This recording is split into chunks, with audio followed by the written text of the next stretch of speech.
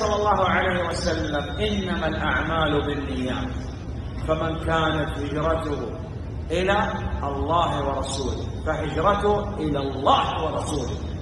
والثاني حذفها فهجرته إلى ما هاجر لم يكررها.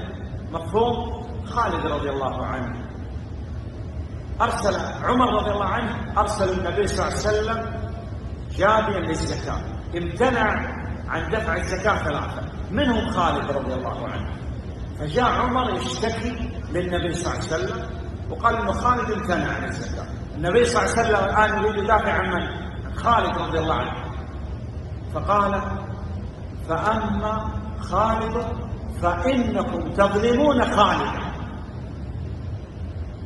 المفروض يقول فإنكم تظلمونه. لا كرر وقال من أحب الناس إليك قال عائشة.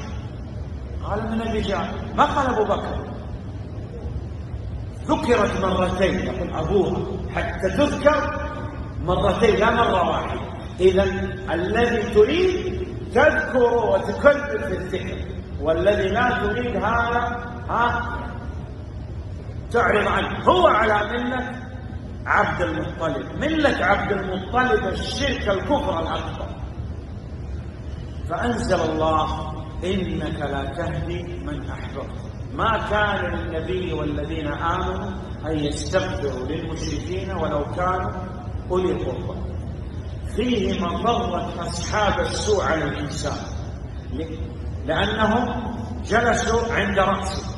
حرص النبي صلى الله عليه وسلم على إسلام عمه وفيه مضرة تعظيم الأسلاف والأكابر. إنا وجدنا آباءنا على أمه ولأنه ولعظمتها ووضوحها عندهم لم يجادلوه إلا بنعرة الجاهلية. ما قالوا له كيف؟ قالوا له أترغب عن ملة عبد المطلب؟ إذا ملة عبد المطلب الكفر. هل الكفار الذين بعث فيهم النبي صلى الله عليه وسلم من أهل الفترة يعني لم تبلغهم دعوة النبي من الأنبياء والرسل عليهم الصلاة والسلام. لا. بلغتهم والدليل هذا الحديث.